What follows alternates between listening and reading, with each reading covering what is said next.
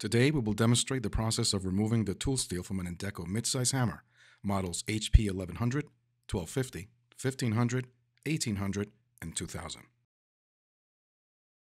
The tools required to perform this job are a long-handed screwdriver and any other solid object at least 6 inches long.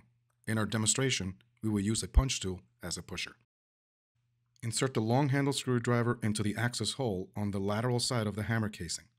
Using the screwdriver to maintain tension on the spring-loaded lock bolt, position 109, use your pushing tool and push the retaining axle, position 108, out of the hammer. If the retaining axle does not slide out easily, go ahead and hit it with your hammer until it comes out. The process is repeated on the other side of the hammer.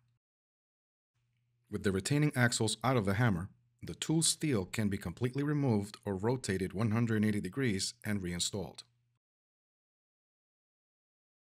Anytime you are installing an Indeco tool steel, take the opportunity to put a generous coating of grease over the entirety of the bushing area. You should use Indeco's Supreme 1000 chisel paste in this and all Indeco hammers. As you slide the tool steel back into the hammer, align the retaining axle pockets at 3 and 9 o'clock positions so that the axles can drop back in. Push the tool steel into the hammer as far as it will go. We will reverse the procedure to reinstall the retaining axles.